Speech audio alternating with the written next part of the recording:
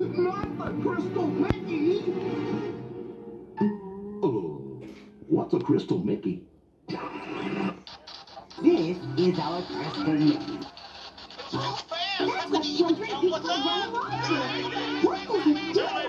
The Crystal Mickey is a statue that was carved from a powerful magical crystal a long, long time ago. It's the source of all the clubhouse's Meeska Mooska magic. That's what makes the clubhouse appear when we say the magic words. What is a clubhouse?